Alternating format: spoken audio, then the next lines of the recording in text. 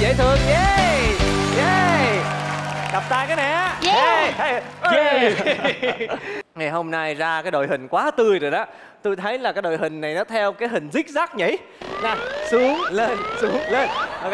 À, bây giờ là thôi để cho đội của bé xù luôn giống minh dù vi xù giới thiệu đội của mình cho tất cả quý vị khán giả biết nha Chào quý vị khán giả đang xem truyền hình, em là Vi Sụ, hiện em đang là diễn viên ạ. Dạ, đây là bạn An, bạn chơi cùng em. Mình là An An, hiện tại mình 24 tuổi Mình cũng là diễn viên tự do thôi đứng bên đây nha để lắng nghe đội thứ hai người ta giới thiệu đây nè dạ xin mời đội nhà mình luôn ha Lời đầu tiên thì ờ, xin cho phép em chào anh Minh Sù, chờ đợi cùng chơi à, và các bạn khán giả đang xem chương trình Về nhà đi anh. Mình là diễn viên Luan ạ. Dạ. Còn đây là bạn chơi của mình. À, dạ chào tất cả mọi người, chào anh Minh, Sù và đội bạn.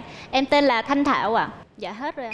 Dạ cảm ơn Thảo. Dạ. ừ, Hỏi một cái câu liên quan về giao thông đi.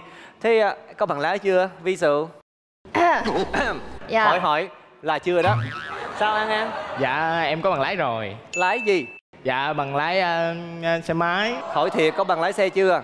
Dạ, Chưa đúng không Toàn là được người ta chở không à? Có dự định là thi bằng lái không để biết lái xe? Dạ năm nay em tính là sẽ thi bằng lái. Dạ Thi bằng lái xe gì? Xe bốn bánh. Xe 4 bánh? Ồ xe ô tô đúng không? Được. Mình không thi bằng lái xe hai bánh nhưng mà mình có điều kiện mình thi bốn bánh vẫn được đúng chưa? Miễn sao là an toàn là được nè em đã bao giờ à, rơi vào một cái trường hợp mình vi phạm luật giao thông chưa? Em không hiểu sao mà em cứ bị phạt hoài có một lỗi đó thôi anh. Mà- lỗi gì Dạ lấn len.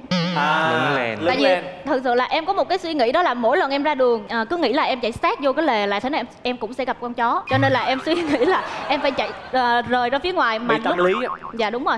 Lấn len xong rồi em tỉnh lại là em gặp chú công an luôn. nhưng mà thật sự á đúng nghĩa là giống như thảo có chia sẻ đó là mình hay bị tâm lý thôi là không biết là ở bên lề đường nó có cái gì nó tràn ra hay không Dạ đúng. Ờ, đó cho nên là mình hơi cẩn trọng nhưng mà cẩn trọng ở đây vẫn phải ờ, để ý tới cái len đường em ha Dạ. chứ không thôi là bị phạt hoài còn lưu an thì sao Dạ cũng đôi khi anh. Tại vì ờ, thực sự em là một đứa rất là thích hát.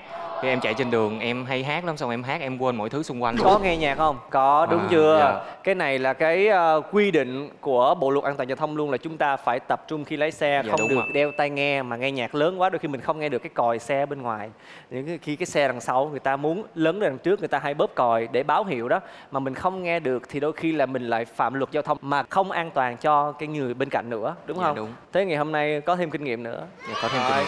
bỏ qua những sự ờ, không vui với những cái kỷ niệm mà chúng ta đã từng trải qua của hai đội chơi ngày hôm nay ngay bây giờ mời hai đội nghĩ ra cái tên cho đội của mình để mình quyết đấu với bốn vòng thi sóc nâu. sóc nào sẽ chỉ qua đây Dạ, ý là nâu nâu đó, chung chung. à, nói chung hả đội sóc nâu còn bên đây Bên đây một cái tên rất là hùng dũng. hùng dũng Một mạnh mẽ Thật sự rất là mẽ mạnh. luôn anh. một hai ba báo hồng